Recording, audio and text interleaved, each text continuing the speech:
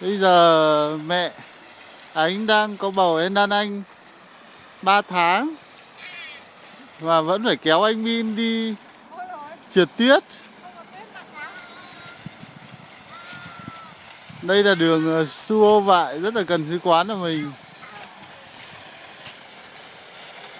Hôm nay là ngày 26 vừa mới 26 tháng 12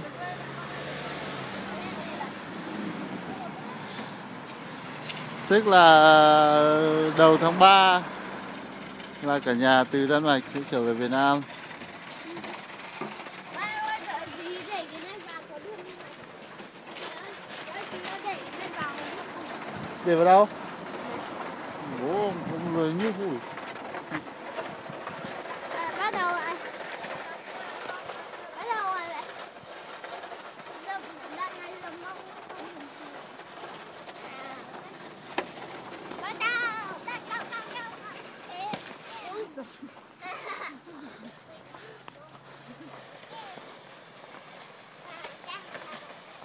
Anh Min bây giờ là đang là ba mươi mấy cân rồi, nặng lắm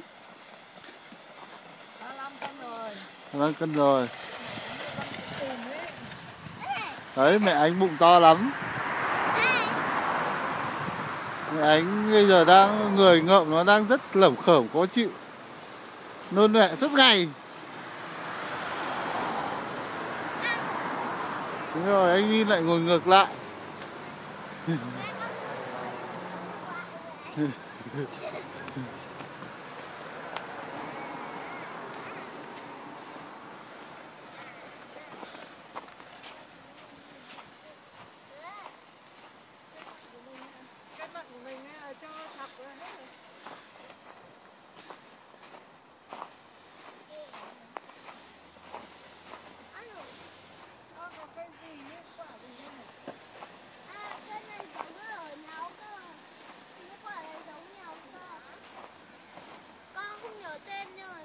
đúng nhau.